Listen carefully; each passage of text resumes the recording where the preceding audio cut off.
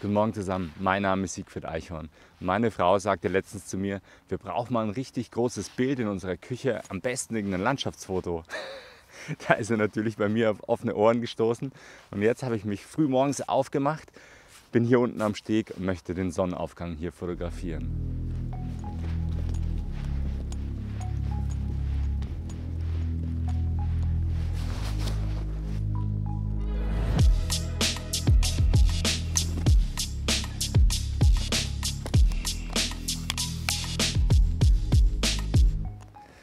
So motiviert, das heute hier zu machen, weil die letzten vier Tage hat es ja nur durchgeregnet. Ich konnte echt nicht rausgehen zum Fotografieren und ich konnte gar nicht richtig schlafen. Bin viel zu früh heute Morgen aufgewacht, um hier heute Morgen stehen zu können.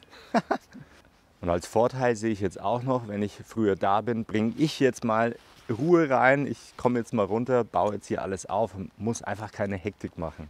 Ja? Ich bin auch der Erste hier am Steg, das heißt, Wer zu spät kommt, sucht sich einen der anderen beiden aus. Das Bild versuche ich jetzt mit einem 1635 Objektiv aufzunehmen. Das heißt, ich schraube mein geliebtes Samyang 14 mm runter, weil auf diesem Objektiv kann ich keine Filter anbringen, weil die Linse so gewölbt ist. Deswegen nehme ich das 1635 von Sony. So, halt dabei hier die Kamera nach unten dass auch nicht allzu viel Dreck auf den Sensor kommt, weil das nervt mich bei den Sony-Kameras echt, dass ständig dieser Staub auf dem Sensor ist. Muss ich ständig putzen. Ich reinige tatsächlich meine Kameras nass einmal im Monat. Ähm, da habe ich auch ein Video mal dazu gemacht. Finden manche gut, manche finden es nicht gut, aber meine Kameras leben noch und ich habe die schon ein paar Jahre im Einsatz. Und wer sich unsicher ist bei einer Nassreinigung des Sensors, Mei, der soll halt seine Kamera einfach ins Fotogeschäft bringen. Aber ich mache das daheim selber. Man könnte ja meinen, so ein Sonnenaufgang hier am Steg ist einfach zu fotografieren. Ich sage mal relativ. Kommt darauf an, wie hoch der Anspruch ist. Mein Anspruch ist zum Beispiel, dass die Kamera wirklich zentriert und mittig dasteht und dass diese Holzbohlen hier unter mir, auf denen ich stehe, nicht schief im Bild erscheinen, dass die auch wirklich äh, parallel hier ähm, unteren, ähm, zum unteren Bildrand erscheinen. Dann meist jetzt so, ich breche jetzt hier auch die Drittelregel und setze den Horizont genau in die Mitte, weil das für mich hier am stimmigsten ist. Und vor mir sind diese senkrechten äh, Pfähle. Da habe ich jetzt meine Kamera auch so aufgestellt, dass ich nicht direkt ähm, vor der Kamera zwei Pfähle habe, sondern dass die Pfähle erst in drei Meter zu sehen sind. Das, die würden mich sonst stören, sonst würde mein Blick nämlich zuerst auf die Pfähle äh, fallen und dann nach vorne gucken. So habe ich straight den Blick nach vorne und da lenkt mich jetzt nichts ab. Ja, und ähm, zu so einem Sonnenaufgang gehört für mich natürlich noch dazu, dass ich einen ND-Filter jetzt gleich reinpacken werde, dass ich länger belichten kann. Und einen Verlaufsfilter auch, um den Himmel abzudunkeln. Dieses länger belichten kennt ihr ja, das mache ich gern, um die äh, Wasseroberfläche zu glätten, dass die fast milchig aussieht. Und dafür habe ich jetzt auch einen neuen Filterhalter dabei, und zwar den von Nisi, den V6. Der hat im Set so einen Polfilter mit drin. Aber vorher fokussiere ich jetzt noch manuell und stelle die Kamera einigermaßen ein, dass alles passt. Und ich habe auch gesagt, ich möchte die Kamera mittig aufstellen. Zuerst dachte ich jetzt, okay, passt, aber jetzt wird es ja immer heller. Und jetzt sehe ich, dass hier diese Holzbohlen gar nicht mittig sind. Deswegen muss ich die Kamera einen Millimeter noch nach links schieben. So in etwa. Gut, der Steg ist auch ein bisschen krumm gebaut. Kann ich jetzt auch nichts machen. Aber so kommt es ungefähr hin. Genau, ich bin hier im Focus Mode manuell. Und den Focus Mode, den ziehe ich mir jetzt hier mit der Displaylupe. Und zwar gehe ich hier ganz vorne ran, also ganz, ganz vorne an den Steg ran und finde den Fokus jetzt, indem ich an dem Objektiv vorne den Fokus ziehe. Ja? Geht einfach nur mit zwei Fingern. Zack, das war's. Und ihr seht, ich bin jetzt hier auf einer ISO 40000. Ähm, das habe ich jetzt nur gemacht, dass ich irgendwas vom Steg sehe. Ich habe auch dieses ähm, Bright Monitoring oder helle Überwachung an. Wenn ich hier drauf drücke, ist es einfach das, was man jetzt aktuell sieht. So, also. Man könnte jetzt aber auch mit dem Peaking hier arbeiten. Ja, das seht ihr, ich habe Peaking angemacht und ihr seht jetzt, das was scharf ist, sieht man hier in diesen roten Punkten. Seht ihr das? Vorne sehe ich genau, die Schärfe liegt an der Spitze des Steges. Aber ich bin eigentlich kein Freund von dem Fokus Peaking, weil ich kann die Schärfe auch ohne dieses Peaking sehr gut beurteilen. So, und das ist jetzt hier mein neuer Nisi Filterhalter. Den werde ich jetzt gleich mal draufschrauben. Und für den Sonnenaufgang werde ich jetzt, glaube ich, zuerst mal den 1.8er ND-Filter verwenden. Der ist nicht so stark, das reicht mir eigentlich. Bin ich mal gespannt, wie der sich festschrauben lässt. Aber gut, Gewinde hat schon gegriffen, das ist schon mal ein gutes Zeichen. Oh, die Kamera schön verwackelt beim Festziehen. Das ist schlau. Oh Mann. Ah, jetzt darf ich es wieder neu ausrichten. Voll Profi wieder hier am Werk. Filterhalter ist nagelneu. Oh. Oh, der lässt sich richtig schön reinschieben. Viel einfacher als bei dem Haida. Da merkt man, dass sich in den letzten Jahren ein bisschen was getan hat. Ne? Und was ich jetzt noch machen möchte, ist vorne auch noch einen Verlaufsfilter anbringen damit ich den Himmel ein bisschen abdunkeln kann. Ist das der richtige? Ja, ich glaube schon. Okay, das Filtersystem hier sehe ich auch gerade. Hat drei Schlitze. Das heißt, ich könnte dann noch einen dritten Filter mit draufpacken, wenn ich wollte. Da ich hier in der Kamera jetzt hier auf ISO 40000 bin, sehe ich sogar noch ein klein bisschen was, obwohl zwei Filter vor der Linse stehen. So, und jetzt gilt es eigentlich nur noch die richtige Belichtungszeit zu finden. Und ich fotografiere jetzt nicht auf ISO 40000, da habe ich jetzt keine Lust drauf, sondern eher mal auf ISO 100 und ziehe die Belichtungszeit hoch. Mein Funkfernauslöser schraube ich jetzt auch mal gleich drauf. Den werde ich brauchen, weil ich nachher wahrscheinlich auch länger als 30 Sekunden lang belichten möchte. Bei der Sony A7 III kommt dieser Aodelan Funkfernauslöser unten rein in diesen Multislot. Zack, sitzt. Alles klar.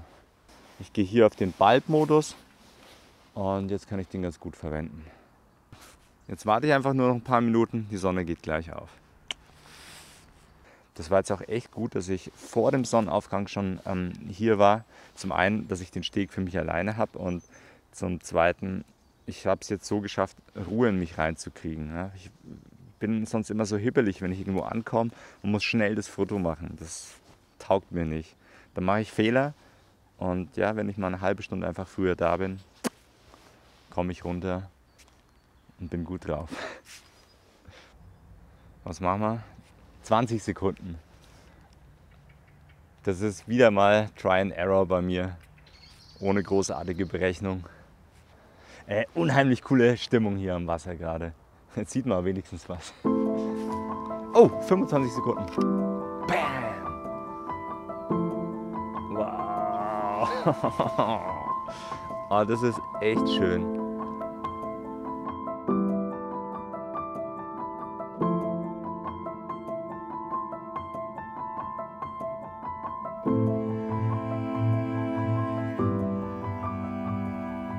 Meine Frau ist meine härteste Kritiker bin mal gespannt, was sie dazu sagt. Zu dunkel, zu hell, immer nur Stege. Ich kann ja nichts anderes. Nee, ein bisschen was geht schon noch. Und um den 3.0er reinzuschrauben, muss ich hier erstmal den Verlaufsfilter erstmal rausziehen. Ich ziehe den jetzt noch raus. Schack.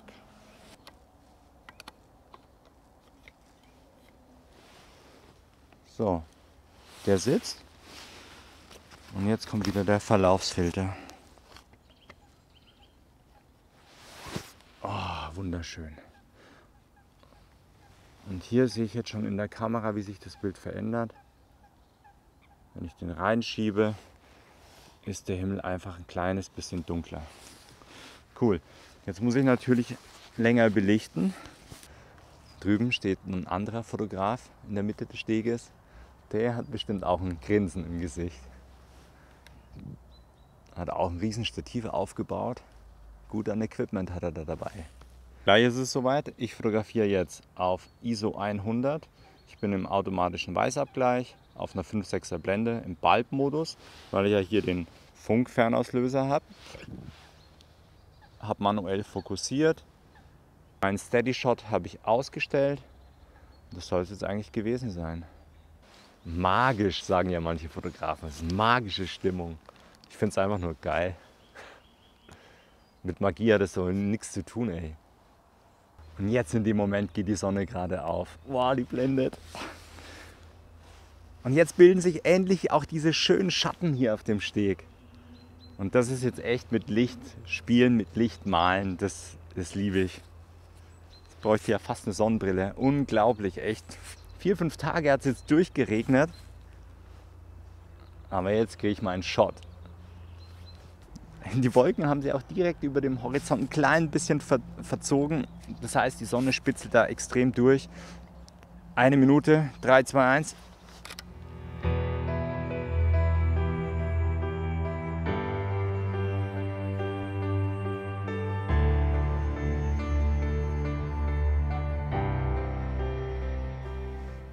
Jetzt bin ich schon wieder voll drauf. Das gibt's ja gar nicht echt.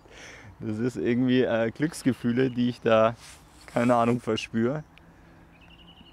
Hm, wenn ich ein Foto gemacht habe und schaue ins Display rein und habe Gänsehaut hier am Arm, dann weiß ich, wow, es hat sich wieder mal gelohnt. Könnte ich fast schon wieder Bier aufmachen früher morgen. nee, war Spaß. So, liebe Freunde, mit diesem Foto bin ich jetzt hier sehr, sehr happy. Ich packe jetzt ein und suche mir nochmal einen ganz, ganz anderen Spot, der mich richtig, richtig herausfordern wird. Und zwar habe ich beim Spazierengehen einen Acker gefunden und auf diesem Acker gibt es ein Matschloch. Also es ist eine super hässliche Location. Aber ich will da hingehen, um mich mal selbst herauszufordern, um da ein Foto zu machen. Und es ist auch keine verschwendete Zeit für mich, weil ich muss da mein Hirn richtig, richtig anstrengen, um da irgendwie ein Bild hinzukriegen. Ein Matschloch auf dem Acker ist jetzt nicht das geilste Bild, aber hilft mir, mich auf neue Situationen einzustellen, um doch das Beste aus sowas auch zu machen.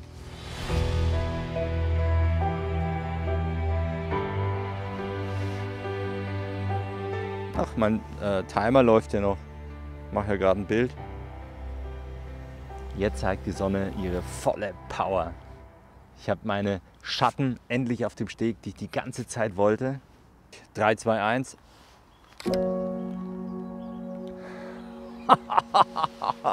wow, wie cool. Ich schaue noch mal kurz rein.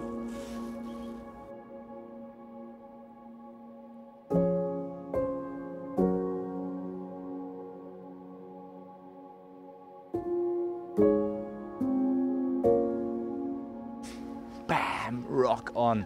Super, super, super.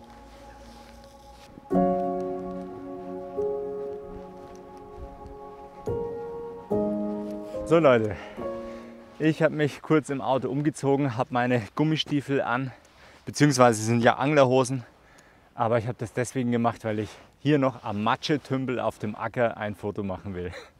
Das ist eigentlich eine Location, die gibt nichts her, aber ich will mich selber irgendwie herausfordern und hier doch irgendwie ein schönes Bild hinkriegen. Weil ich höre immer wieder, oh, du fotografierst hier am See, ist ja alles so schön und einfach. Schau, ich stehe jetzt hier auf dem Acker und Acker hat jeder irgendwo daheim auf dem Kaff und mache jetzt hier irgendwie ein Foto. Jetzt schauen wir zuerst mal an, was für Möglichkeiten habe ich. Ich habe hier Schilf, ich habe hier Gräser im Vordergrund und da hinten ist irgendwie so ein abgestorbener Baum.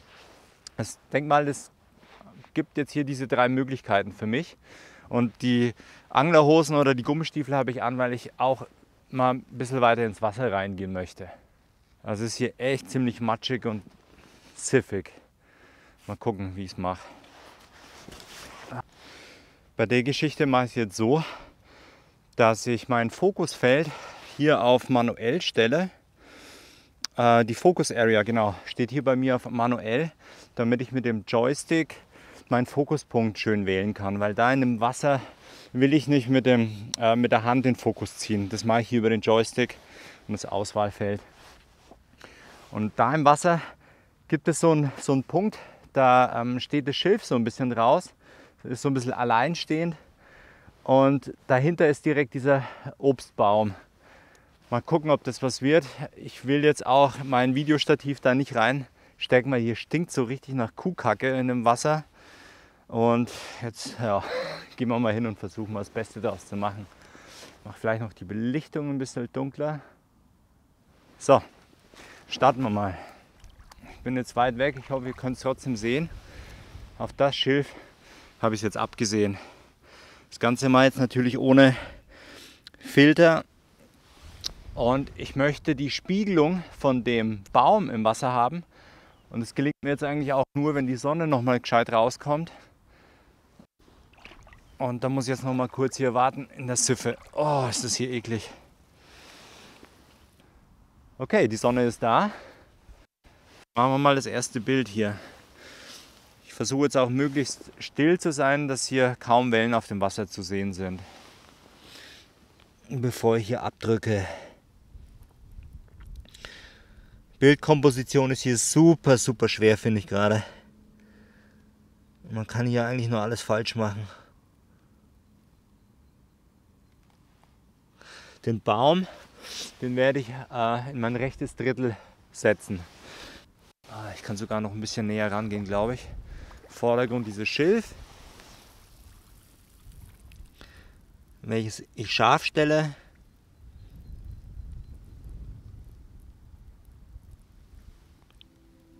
Und dann sieht man den Baum schön gespiegelt hier im Wasser.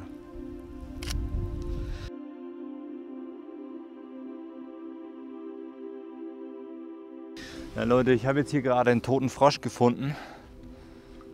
Ist jetzt nicht das schönste Motiv, aber ich versuche oh, ich es trotzdem mal aufzunehmen. Oh, ist echt eklig. Arme Kerl. Oh Gott, stinkt es hier. Dieser abgestorbene Baum hier in diesem Sumpfloch, der könnte noch was hergeben. Ich werde dabei jetzt mal gegen die Sonne fotografieren, dass er schwarz erscheint und spiele dann vielleicht mit den Sonnenstrahlen ähm, auf dem Wasser. Also vielleicht kriege ich es irgendwie hin, dass die sich darauf spiegeln. Und habe jetzt auch das 14 mm mal draufgeschraubt, dass ich noch näher an den Baum ran kann. Gut, dann taste ich mich jetzt mal daran. Ah, oh, das ist ja hier echt ziemlich moorig. So, jetzt schaue ich hier mein Vordergrund ist natürlich der Baum und da hinten sind auch noch mal zwei Bäume in der Entfernung. Dann hätte ich hier was im Vordergrund und auch im Hintergrund was zum Gucken.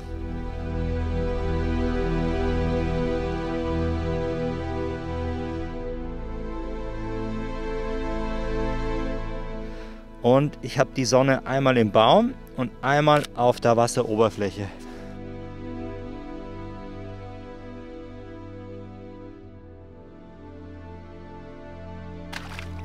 Oh. Alter, ich sink ja hier komplett ein. Ja, und das ist das, oh, was ich hier rausholen kann. Mal schauen, ob ich das hier im Hochformat auch irgendwie noch hinkriege, dass es mir gut gefällt. Mist, ich sack hier komplett ein. Scheiße. Fuck. Alter, leichte Panik hier. Was ist denn da los? Ey? Aber für das Bild muss es noch hinhauen. Zack.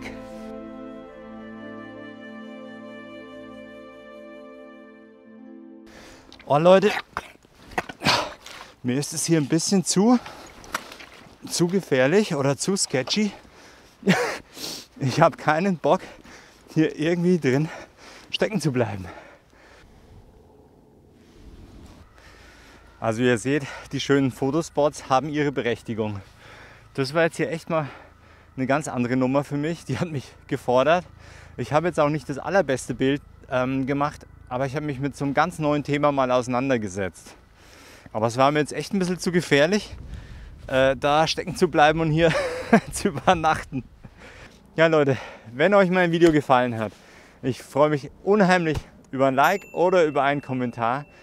Und äh, jetzt bleibt nur noch zu sagen, habt einen schönen Resttag. Ich freue mich, dass ihr bis jetzt dabei geblieben seid. Bye bye, euer Sigi vom Ammersee. Ciao.